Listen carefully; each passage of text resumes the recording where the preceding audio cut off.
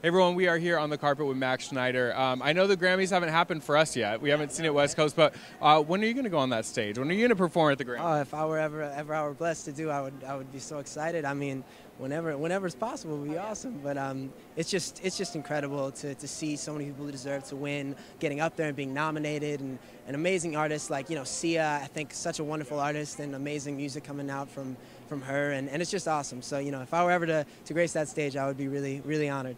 Was there anybody tonight, any of the performances tonight that you were like, oh my God, I have to see it. I can't wait to see it? oh it? my gosh. Well, I, I know that Ed Sheeran's doing some stuff tonight. I love him and, and uh, really everybody. I mean, I, I know there's just so many performances coming and, and uh, yeah.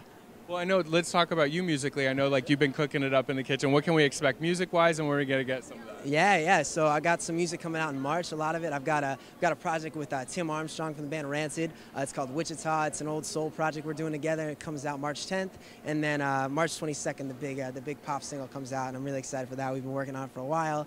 It's got a crazy video working on and, and all that good stuff. And then this summer, uh, I did a, a, movie about the Beach Boys called Love and Mercy, and um, it's got a great cast: Paul Dano, uh, John Cusack, Paul Giamatti, and Elizabeth Banks. And uh, it's about Brian Wilson's life, and, and it's a really wonderful film. And I'm excited for everybody to see it. it comes out June 6th. Real quick, give us your favorite emoji to describe the first single. How is the first single going to make people oh feel? Gosh, favorite emoji. Well, I love the monkey emoji, so just like the monkey emoji, that's like. That's how they're going to feel after. I hope that's what I hope they feel. You know, um, or just there's the other monkey emoji that's just like so I hope they don't feel that. But if they do this one, I'll be proud.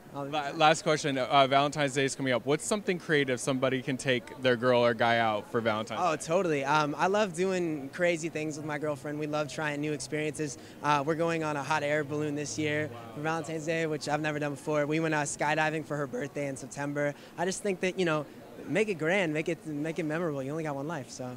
Yeah. All right, you guys, make sure you're checking out uh, Max's single coming out in March. It's gonna be a big year for you, and we'll see you here next year. You'll come back here, but with a Grammy. I hope so. Thank you very much. Man. I appreciate thanks, buddy.